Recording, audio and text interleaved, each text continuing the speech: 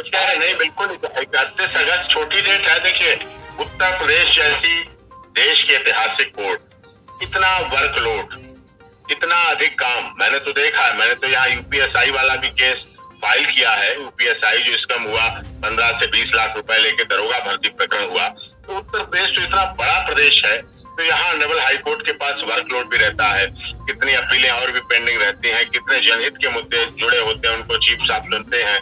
और भी कई मामले आते हैं, समसामयिक सरकारों से संबंधित मामले आते हैं। फिर भी अनेबल कोर्ट ने आपने देखा, जब से मैं आया, मई से, मई, जून, छुट्टियाँ, जुलाई, अगस्त, लगातार इस मामले को सुना जा रहा है। जितना अधिक से अधिक सुना जा रहा है, जितना डाटा फटकारा जा रहा है, जितना जुर्माना लगाया जा सकता है, वो सारा कुछ हो रहा है। तो इसलिए हमें आशा, विश्वास और पूर्ण निराशा नहीं होनी चाहिए। इस बीच देखिए, बातें और भी होंगी, सुनवाई पे होंगी, रखी जाएँगी। इस बीच में कितने अनुदेशकों की मौत हो चुकी है, बातें ये भी आएँगी कि अनुदेशक अपने शिक्षा के कार्य से विरत होकर हटते हैं तो रेडी भी लगाते हैं, रिक्शा भी चलाते हैं ई रिक्शा भी चलाते हैं, मजदूरी भी करते हैं, मिट्टी भी डालते हैं, चाट पकौड़ी भी बेचते हैं। ओवर टाइम भी करके जाके, जहाँ वहाँ जाके नौकरियाँ करते हैं, लोगों गाड़ियाँ साफ़ करते हैं। तो ये भी बात आएगी, शिक्षा से जुड़े हुए व्यक्तियों को कम से कम इतना तो दे दीजिए, जो अपना वो भरण पोषण कर सके, अपना जीवन चला सके, मौतें हो रही आत्महत्या कर रहे हैं। आत्महत्या करना आज की देश में हम कौन सी सदी में रह रहे हैं? आज़ादी के पचहत्तर वर्ष हम मना रहे हैं। आज़ाद हुए में पचहत्तर साल हो चुके हैं। अमृत महोत्सव मना रहे हैं। लेकिन फिर भी लोगों को जहर पीना पड़ रहा है। फिर भी आत्महत्या करने के लिए उन्हें जहर की गोलियाँ खानी पड़ रही है। सोचिए, अमृत महोत्सव मना रहे हैं, लेकिन जीवन में जहर घुला पड़ा है। जीवन में कड़वाहट है। ज़िंदगी कितनी कठिनाई से मिलती है और लोग अपनी जिंदगियों को खत्म कर रहे हैं। अनुदेशक हमारे आत्महत्या को मजबूर हो रहे हैं। आप देखिए ट्विटर माननीय योगी जी से, शिक्षा मंत्री जी से ट्विटर फेसबुक व्हाट्सएप अखबार न्यूज़ पेपर न्यूज़ चैनल इस बात से भरे पड़े हैं कि इस अनुदेशक ने आत्महत्या कर ली। यह अनुदेशक मारा गया। आर्थिक अभाव, आर्थिक तंगी, आर्थिक अभाव, आर्थिक तंगी। अब होता क्या है? अनुदेशक शिक्षा से जुड़ा हुआ व्यक्ति है। वो क्राइम की दुनिया में तो जा नहीं सकता। वो आपराधिक प्रवृत्ति तो बना नहीं सकता कि दिन में पढ़ाए और रात को डकैती डाल के ले आए। तब तो वो आत्महत्या से बच सकता है। उसे कानूनी लड़ाई लड़नी, वो कानूनी लड़ाई लड़।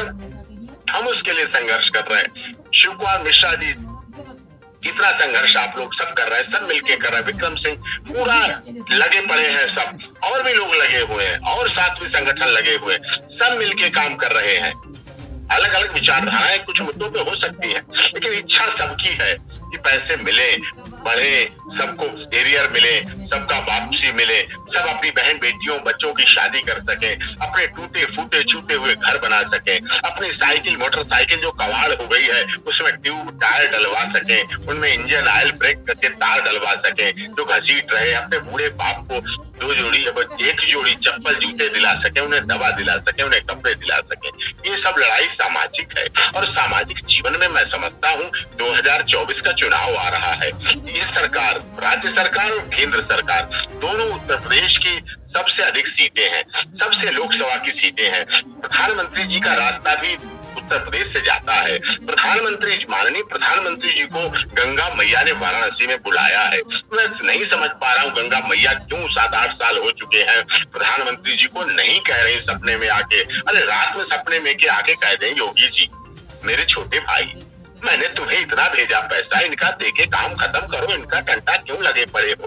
कम से कम गंगा मैया पता नहीं क्यों नहीं कह पा रही हैं। गंगा मैया इतना विस्तृत हृदय रखती हैं। गंगा मैया बड़े हनुमान जी के चरण स्पर्श करने जाती हैं। गंगा मैया गुजरात से मोदी जी को बुला लेती है। गंगा मैया वाराणसी में हर महीने दौरा करवाती है योगी जी का। सब आते हैं, लेकिन पता नहीं क्या इनकी, क्यों ऐसा हो रहा है? क्यों गंगा मैया एजी साहब को नहीं कह देती, रात में सपना देके एजी साहब जाओ और चार्ट दे दो, कह दो जाके कि हाँ साहब, ये कर दीजिए इनको। अरे, बड़ा दिल चौड़ा हो जाएगा साहब। देने वाला बड़ा रहता है। देने वाले का हाथ सदैव ऊपर रहता है। उसका विशाल हृदय रहता है। एजी साहब, सरकार की है, लेकिन सरकार किसकी है? उत्तर प्रदेश के लोगों की है। तो मैं तो समझता हूँ एजी साहब, आप हमारे भी हो। सरकार हमारी है। हमने दिया है, डबल इंजन चलाया है, डबल इंजन की सरकार है। और तीसरा, फिर इंजन देने जा रहे हैं और बड़ा इंजन देने जा रहे हैं।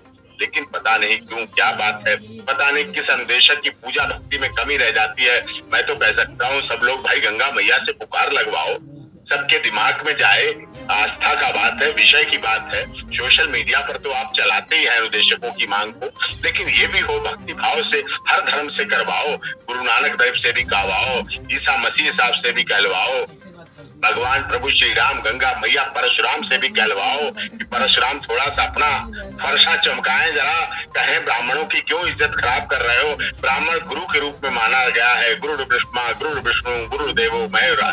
गुरु के साथ क्यों ऐसा करवा रहे हो कि उसे रोटी नहीं मिल पा रही? गुरु को क्यों ऐसा करवा रहे हो कि टूटी चप्पल पहन के आता है, छुपा लेता है और अपना शिक्षा का कार्य करके धीरे से चला जाता है टूटी साइकिल लेके? वो पढ़ाते समय देख रहा होता है कि अभी पंचर जुड़वा के आया था, फिर साइकिल पंचर वाली हो गई, क्योंकि उसमें बारह पंचर हो चुके हैं।